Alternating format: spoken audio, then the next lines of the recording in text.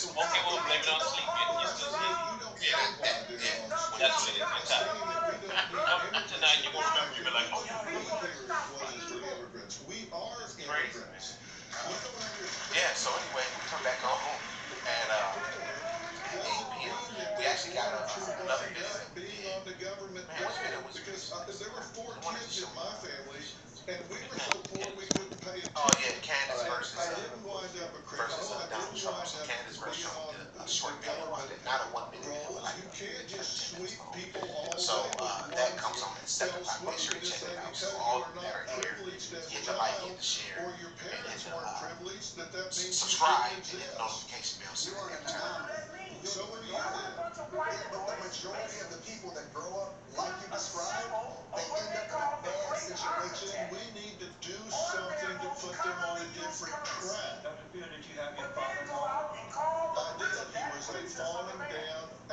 control, violent drunk. But we're going to have another father in this conversation next.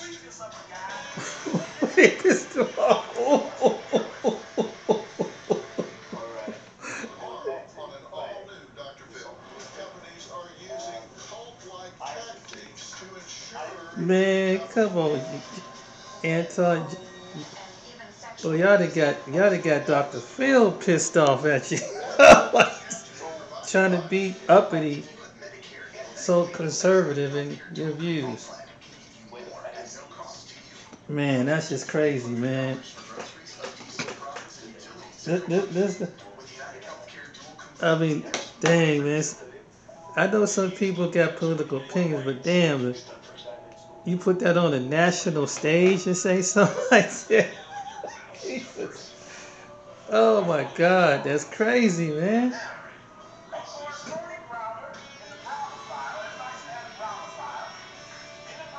Fair use, teachable moment, but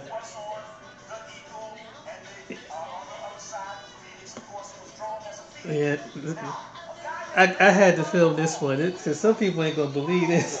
some people ain't. That's why I got this on video.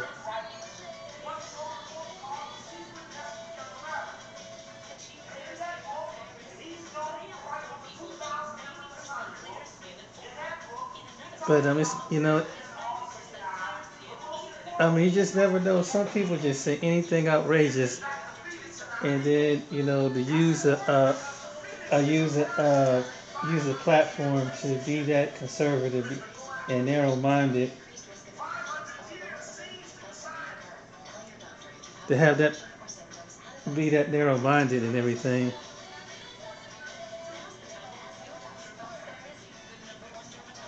So people ain't gonna believe this, man. Jesse Lee Pearce and Anton say the most craziest things online. I, now that they took their YouTube took from whatever's on YouTube to Dr. Phil show.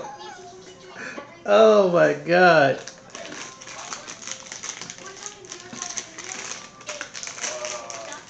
It's like dang. If he got if he wants some attention, he got some attention now. Anton and Jesse, they want some attention.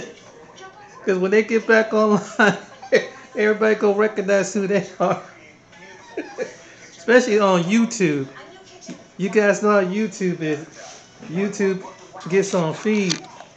And whatever YouTube YouTube gets on feed, man, you know.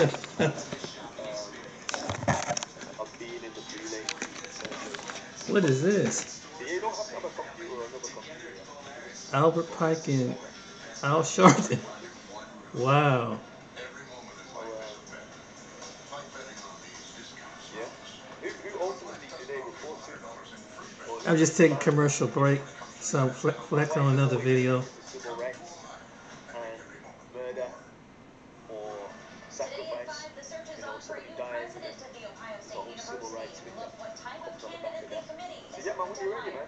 Civil rights and murder or sacrifice? the search is You know, on for a somebody new dies president of the Ohio the State whole civil rights University. We movement look what type of comes on the back candidate of the that. committee So is yeah, man, going when to you're ready, hire. man, just, you know, And storms hitting the south right now will bring us rain tomorrow. We'll time it out in your hour by hour forecast at 5. that. Back, back to Dr. Phil. All hour long, we've been having a procreation debate, and if children really are the future. I disagree with some people here uh, vehemently, I, and I, that's okay. Um, I- and I hope it's okay with everybody here. What we need to do is listen to each talk about things, put it out there. And I'm going to add one more person to the debate virtually, uh, and that's Waj Ali, speaker and co-author of Go Back Where You Came From and other helpful recommendations on how to become American. Uh, also a father to three. Uh, Waj, thank you so much for joining this conversation. Dr. Phil, thank you for having me. According to my immigrant parents, I finally made it in America because I'm on Dr. Phil. So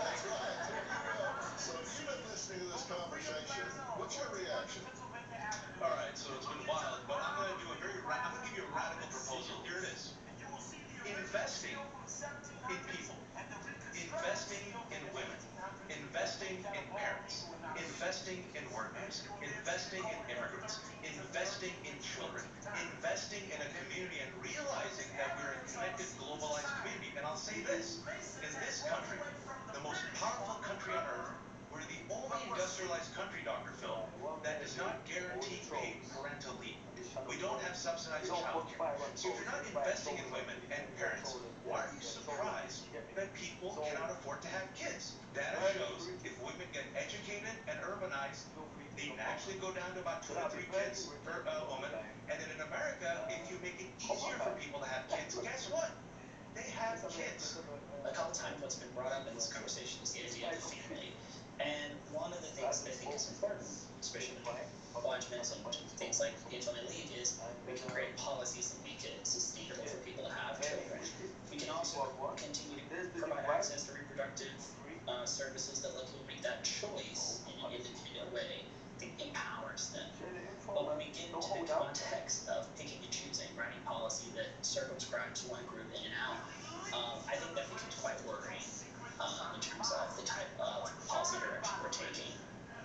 Look at money we've already in people. Things have all gotten worse. They have not gotten better. If there is an investment done, it should be encouraging men and women to marry, to raise their children, be responsible for them, guide them in the right way to go. So when they do become adults, they could go out into the world and provide for themselves. We're taking care of them, and we shouldn't. It's really gross to sit around as privileged people wringing our hands, concerned that we aren't creating enough young people to be able to grow into the societal roles that will pay for our care as older people. And we are not willing now to create a nurturing society that allows people to comfortably Waj made some beautiful points, and I thank you very much for your additions to this conversation. Evidence shows that investing in people, investing in communities, investing in our social connections allows people to be their most resilient selves. We don't enter this world on an equal playing field.